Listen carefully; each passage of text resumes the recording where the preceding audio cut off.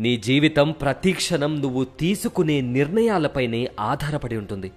నువ్వు ఇవాళ తీసుకునే నిర్ణయాలే రేపటి నీ సుఖదుఖాలను నిర్ణయిస్తాయి.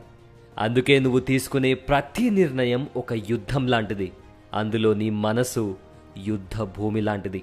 నువ్వు చేసే యుద్ధాలు నీ మనసులో శాంతిని నెలకొల్పాలి తప్ప నీ జీవితాన్ని అతలాకుతలం చేయకూడదు.